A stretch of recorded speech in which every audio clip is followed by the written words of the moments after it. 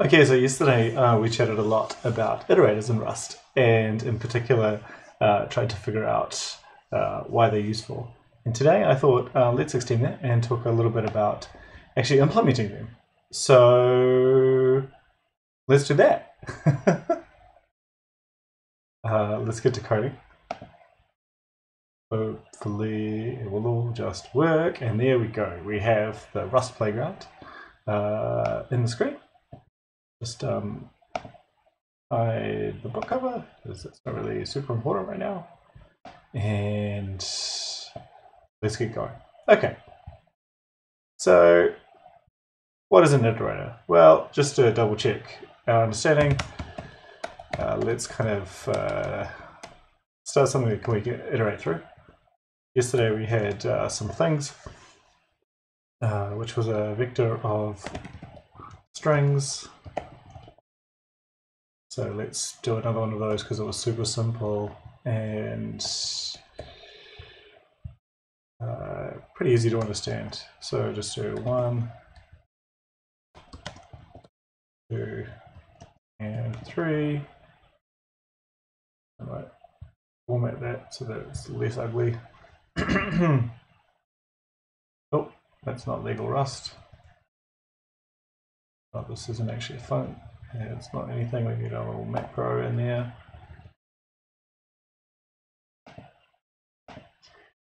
Format it properly. Um, us, that's good. And then we want to uh, for thing and things print line thing. Okay, so uh, if you've done any Rust coding at all, this is probably pretty familiar. Uh, one, two, three. There we go. Yay! Surprise! Uh, but wait, there's more. You know, like uh, we, we, we, we're not done. Okay, so uh,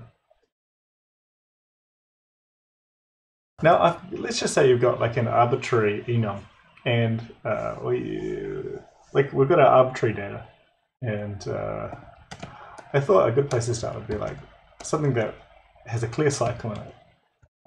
And one thing that has a relatively clear cycle are the seasons. So we've got summer, winter, spring, and apologies to any Americans who happen to be up at sort of 5 a.m. Uh, autumn, well, probably closer to 2 a.m. over there right now. um, now, that's great. So we've got this season thing. Uh, to create it, uh, so if you haven't experienced the greatness of Rust yet, we use a literal syntax. Uh, the, I'll just say that it's, it's, coming up to winter actually. Yeah, it's winter now in New Zealand, so we, we, we're, winter, we're in winterland. Uh, this doesn't make any sense anymore. I move that up. Uh, delete all that craft and Let's just see what happens. The compiler will actually say, what? Like, I don't, I don't know what you mean. Like, we get this craziness. So, uh, first thing to do is you might say, oh, what about this question mark? Following question mark in there, it changes what we're actually trying to print and kind of converts this into debug. But it says, oh, you also can't do that. Uh, but wait, we can trick it. We will get to iterators very soon. I just want to get some preliminaries out of the way. Uh, we can... Uh... Oh! A few compiler warnings, uh, but eventually we print out winter. So that's super useful. Um, just a reminder to anyone watching, the comment section is right there. Uh, I will... And like I'm actively watching the comments as well. So feel free to just kind of send me a um, send me a ping, and if you somehow have managed to find yourself watching the stream somehow without Twitch, I don't know, maybe your magic, uh, go here. and uh, you'll find it. So what do we do now? So the first thing to note is that the iteration syntax is actually uh, implemented um, with a trait. And traits are... Where are we?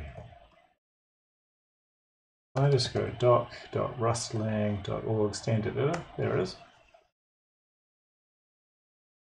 And I can see a whole bunch of stuff, but the biggest one that's really important is this thing here, trait iterator, type item, function is next, take a mutable reference to ourselves, and we return option self item, so that is the same type. So an iterator, in some sense, isn't actually required to return the type of the thing that it's iterating, which is going to become pretty important very soon when we realize uh, when we we're going to make a mistake. Uh, sadly. So, uh, so how do we how do we turn this trait into an actual thing?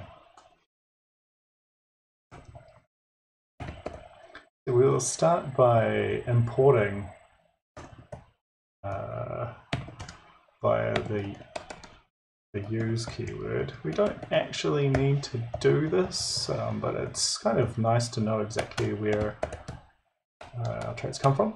Um, so we bring the, the trait into local scope for season. And that's kind of useful. And our type will actually be ourself. So we'll try and do this. Um, what we're trying to do is say that actually, well, season wants to return a season next. Uh, it's like surely, surely that's fine.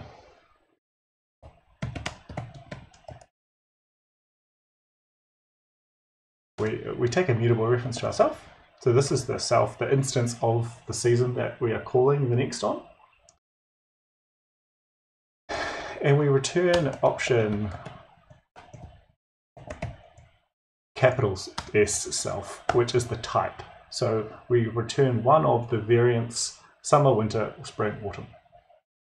Now, um, to start off with, we want to kind of use uh, the core of it is we want to match on self. So if we are winter, we would like to become spring.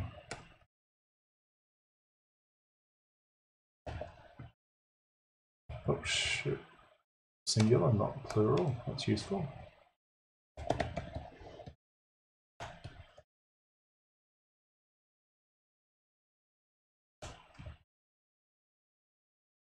And if we are spring, we then become summer. you see, thinking, what? Is that working? And then if we are summer, we would like to become blah, blah, blah. What do we want to become? We want to become autumn. Everything feels so much different when you're like on screen in front of people. It's suddenly uh, it's suddenly really difficult to make any sense at all. So thank you very much for bearing with me. It's quite useful that you've joined me for this uh, kind of useful experience. Uh, so we, we're, we're in autumn now, and uh, we want to become winter again. Now, as you see, it's quite noisy with this uh, matching enums. We'll fix that up very shortly, but we'll just focus on um, this match syntax. So if you haven't used Rust before, uh, match will, it's kind of like a switch statement if you might have encountered that before. It's just beta basically. Uh, so if we, uh, this thing on the left, uh, we're going to return the expression on the right. And the way that Rust works is uh, the last expression of a function returns. Um, this will actually fail to compile, I believe. Um, so what does this provide us? It provides us what we want is the ability to call next here and so we know that we're winter, and what we want is to be is the spring to print. What happened? Oh, we've got a syntax error. That's useful. we'll fix that. Not what I expected. Executing execution. No, oh, oh, that's the wrong thing. It's supposed to be option boy oh boy. But too quickly, get bad results. oh, there's a comment. Hello.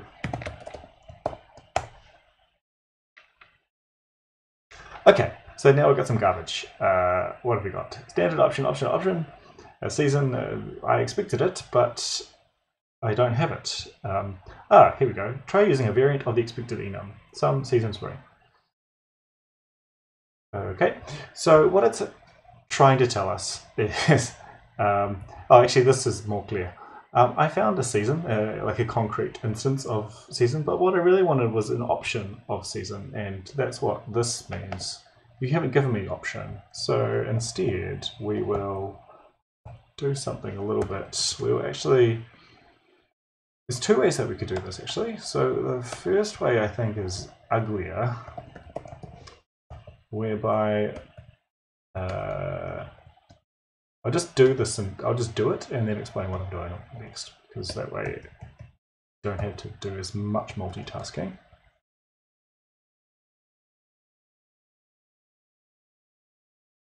If I had popcorn or something, I, or like if I had lollies to give you, I would give you a lolly sip every third sip per oft. Um, oh, but I don't. So sadly, um, you can't have a lolly. No. anyway, so can't borrow season is mutable. It is not declared as mutable. Oh, okay. So what? Oh, over here. Now, I really hate the repetition in this. So, but we've got what we wanted. Okay, so we have successfully implemented iterator. So, what happens now? We'll just actually, uh, so we, we know we're spring here. Now, if we type next next, what we want is summer. Oh, we're calling it on uh, on, on, on an option, so I think this is what we I'm just going to do unwrap actually, because I can't remember which method is the one. one.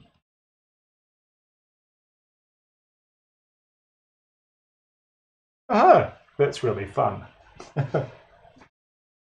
okay, well, um, wait, wait, wait. I can't believe how much, how entertaining it was, because Something was not supposed to work, but did. How weird. Spring. We go from spring to summer. Okay. So that's useful. So we've got iteration working. Um, actually much faster than I can. So we can maybe move on. What happens if we do take 10? To take 10, uh, here you have a, Actually, I'll go back a bit. Um, so we're, we're happily, we're, we're, we're, nexting and we're getting a next division. I said that was another syntax that I wanted to introduce um, instead of all this repetition. So that's, um, I really hate it. So we can actually include a use statement inside a function, inside local scope. And that will actually clean up a lot of the clutter. He says, as long as he hasn't made some horrible mistake.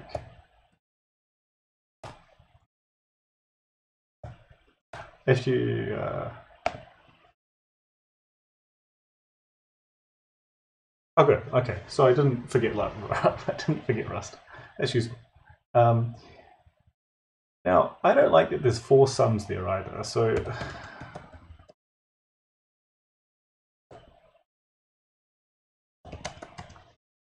I'm going to do something which may or may not feel right to you, um, which is to get rid of them.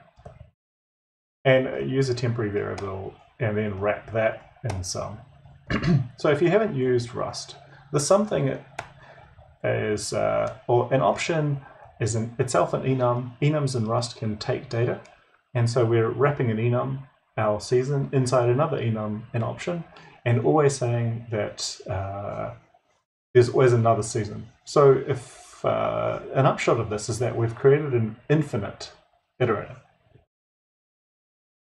Now, um, computers don't like infinity, as we'll encounter soon. So, what can we do with an iterator? Um, so, we've got this thing, uh, season,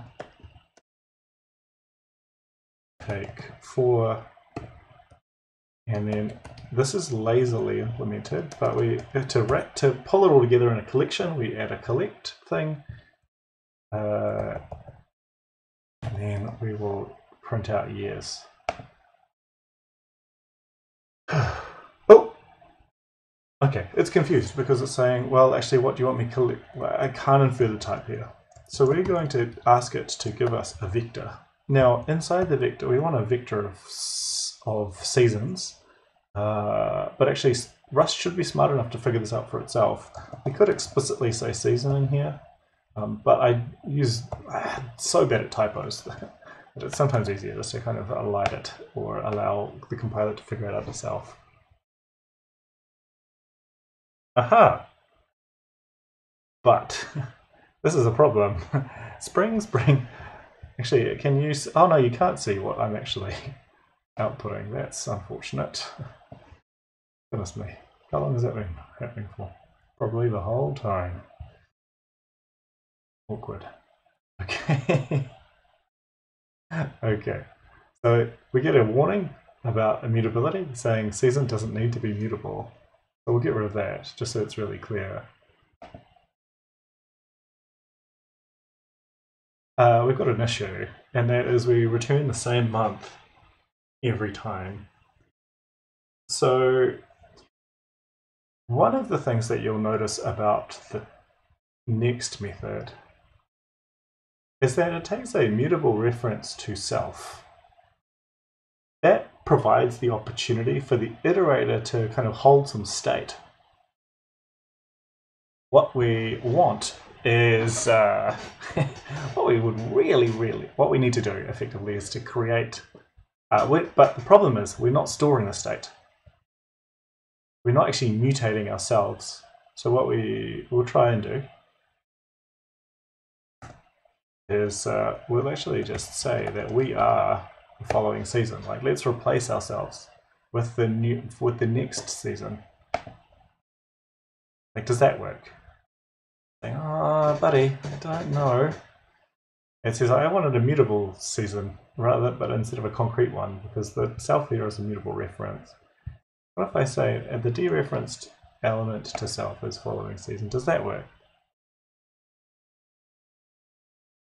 Ah, what? Okay, okay. Now we're getting into some borrowing issues, where he can't replace both replace ourselves and kind of give it. We can't keep ourselves alive, ourselves alive, uh, inside the core, and uh, we're basically kind of splitting ourselves in two.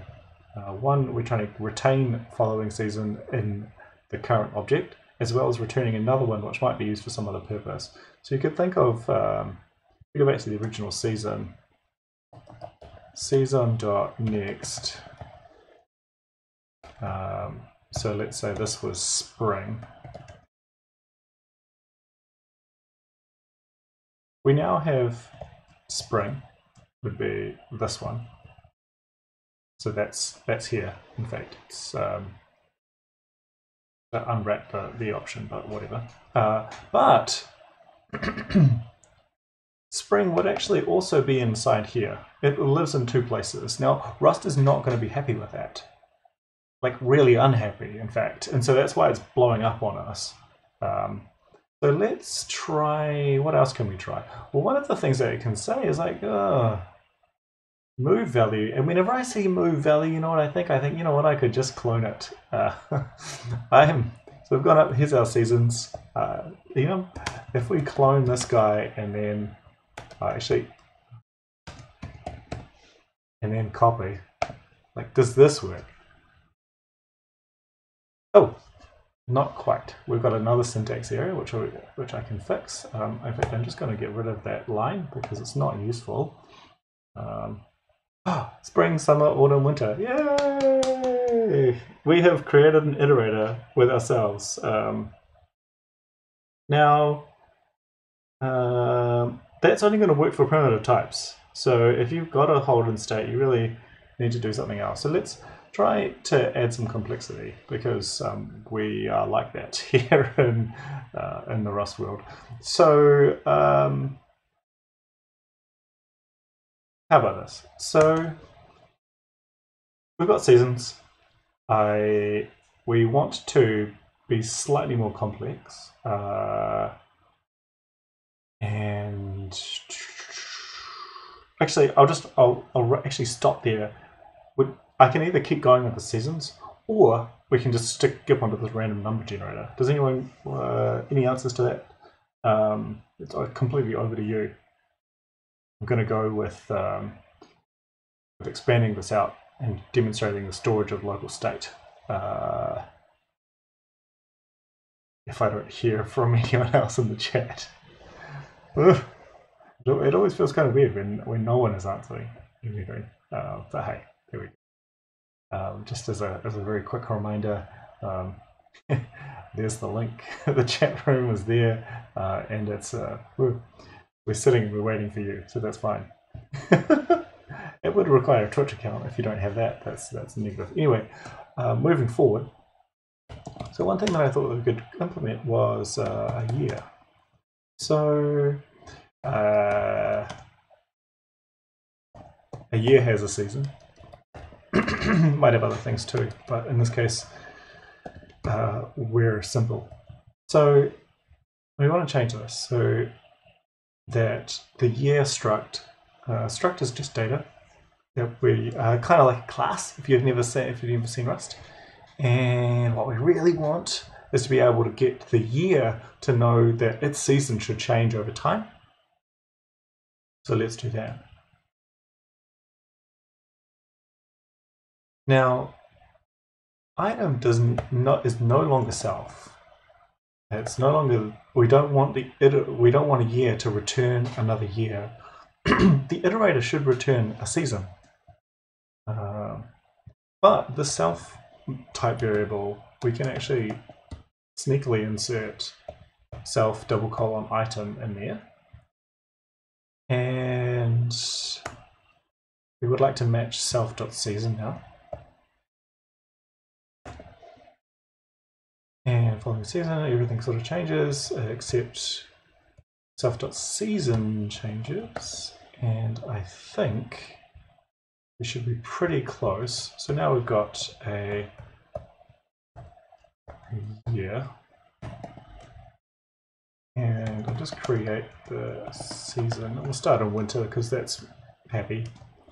Um, now, we want the year to progress one, so we'll just change that. Maybe call this um, progress. That's what happens over the course of a year. So over the course of the year, uh, we should see the seasons change. This is possibly going to die on us. It's saying that it can't be dereferenced, which is fine. Uh, we don't need to reference ourselves anymore. Here we go. Ta-da!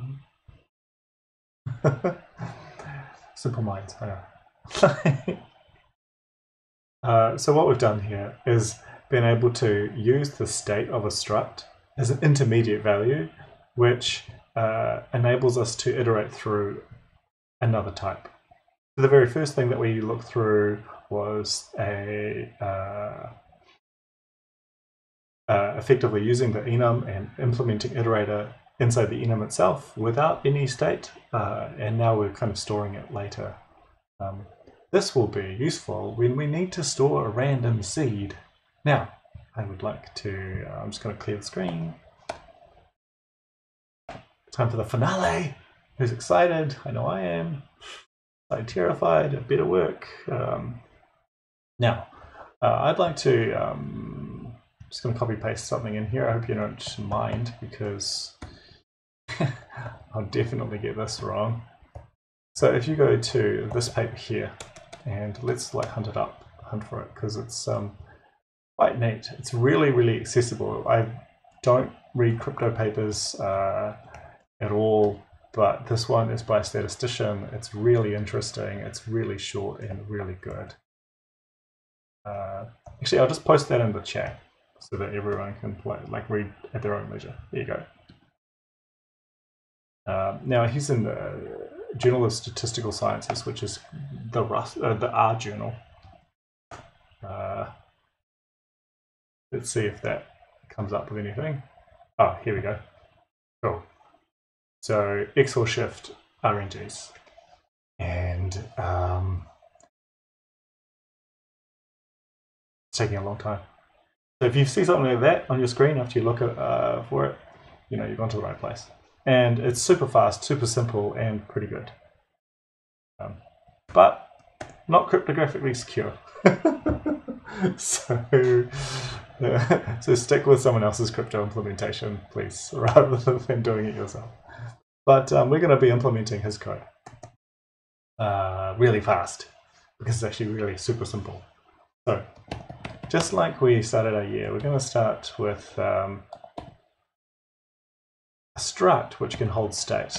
And the, set, the, state that it's going to hold is a 64-bit unsigned integer. Now, uh, as before, we're going to implement, we need to bring the implement, uh, we need to bring the iterator trait into local scope before we can define it for our custom type, so we'll do that. uh, implement iterator, I will the full path syntax. Marsaglia. Now all we need to do here is type item. So our, oh by the way, if you're just brand new, um, this trait is um, was mentioned right at the start, and the heart of it is right here all we want is uh, to define a type that we return as our item, and we need to implement one method next, which returns an option of this thing. So that's what we're going to do. So uh, we want to be able to, we want to return item uh, U64 values because it's much, much simpler than having to cast around numbers. Now this is where the magic happens. yes. I still really, I still feel like I'm going to get shot down by something. Uh, writ, written open again, second time in half an hour. So uh, if this syntax isn't clear, it's not a concrete type here. These are actually type variables. So self refers to this thing And item is in here. Right, so we're returning U64s. Now, if you can, uh, hopefully you won't judge me for uh, looking and trying to copy uh,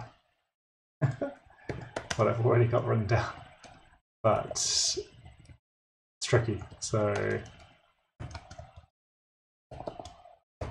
This is going to look ridiculous because these look like completely arbitrary numbers. But if you read the paper, you find out that he has gone to the lengths of basically testing every single integer combination of bit shifts and, oh, sorry, XORs and left shifts and right shifts, and found the combination that is uh, closest to uh, cryptographically secure that you can get and for U64, so an unsigned integer,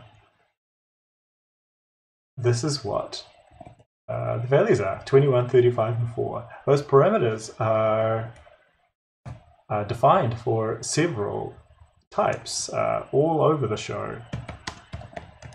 Um, like for for like 16-bit through, I'm pretty sure it's 16-bit all the way through to um, 64, as well as um, signed and unsigned values, they're all different. So hopefully you won't think I've cheated by, by just uh, like this is the simplest but fastest um, random number generator that you would have encountered before. Hopefully, um, if you have think I've cheated, well, I can refund your ticket for the show, I suppose. Uh, any any anyone interested in the what's their anyone's favorite number? I'm gonna go for one, two, three, four, five, and we're gonna use um, uh, the same pattern that we did prior, which is to take a few values. And in this case, we may as well take 10, because a reasonable number of values to take and we'll call collect again. I won't trick you in saying that we need this because you already demonstrated So, um, we need to actually tell collect and sort of inform collect via a type parameter that we want to collect our U64s into a vector. Uh, there's another way of doing this called the, um, which is my favorite um, Rustism actually, it's called the turbofish um, syntax. We can either add it there or wherever we want. Um, so what do we do with these guys? Um, we print them out. So actually we could do something slightly more interesting, uh, but we won't because I'll wrap up pretty soon.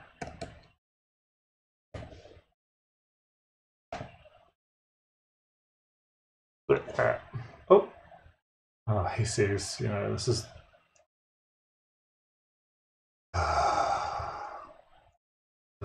Sorry, the turbofish is actually itself got double colon and brackets. Then I get help. I love that.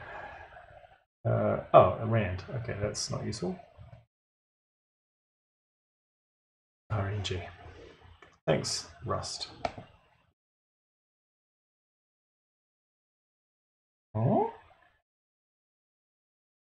Oh, okay.